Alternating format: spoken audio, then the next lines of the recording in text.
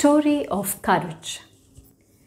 A Chinese legend about a fish. Listen carefully, for the journey is important. A blue river flowed deep and wide. It met the golden river that flowed from the sky at one point. And at this point where the two met, the Blue River and the Golden River, there was a mighty bridge. It was said that any creature that was able to cross that bridge to the other side could become whatever they desired. The little koi fish wanted to go there to cross that bridge and see what he could become on the other side. Every day he would tell his parents, the black and red koi fish, let me go, let me swim, let me go to that bridge. No matter what anyone says, that is what I desire. They worried for him it's too dangerous. No fish has ever done this journey. And the ones who came back have told us that it's just impossible. But I truly, truly want to go and see what I become on the other side of that bridge. With a heavy heart, the red and black koi waved their fins goodbye the little koi set off to meet his destiny. He knew the waters flowed down and he had to swim up. The way was very treacherous, very difficult. But he flapped his fins as fast as he could, faster and faster and faster and faster, and made such good progress towards that bridge.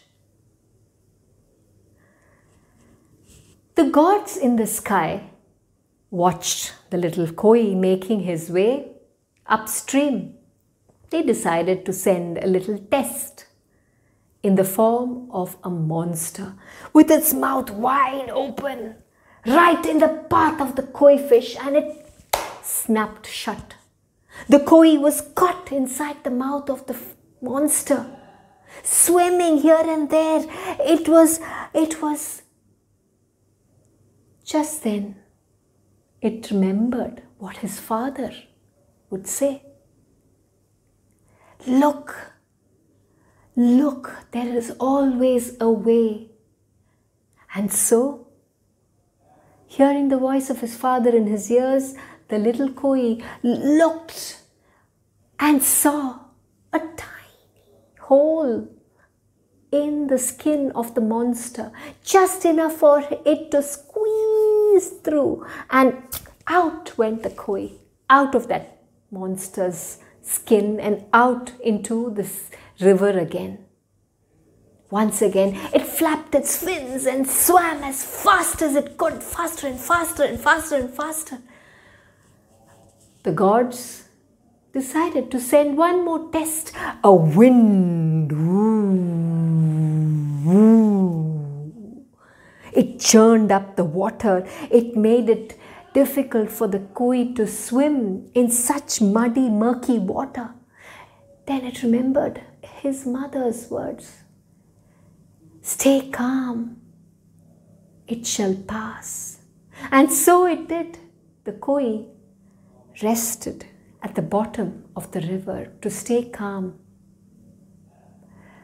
The water cleared up, and once again it rose up and flapped its fins faster and faster and faster, and finally reached that bridge. Now, all it had to do was jump. Jump it did. Took the water in through its gills and jumped but it did not cross, fell back into the water, and it jumped.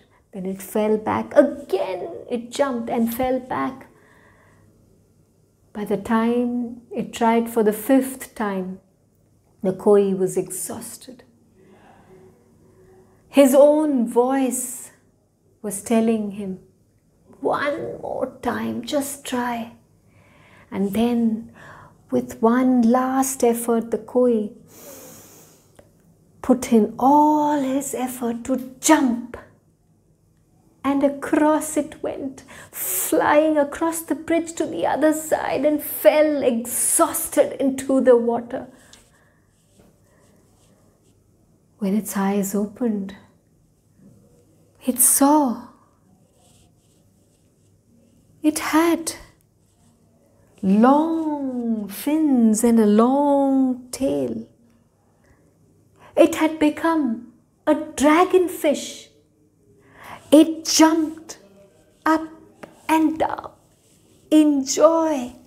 And as it jumped, it could see his mother and father looking at him and how he had become the dragon fish. The little koi had transformed into the dragon fish.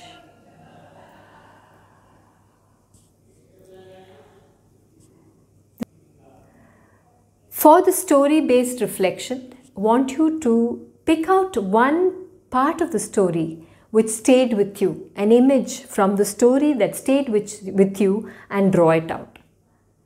Once you've drawn it out, identify from which part of the story you have picked out this image, the beginning, middle, or end, and also write out what this means to you for your own life journey. And finally, what are the ways in which the young fish showed courage?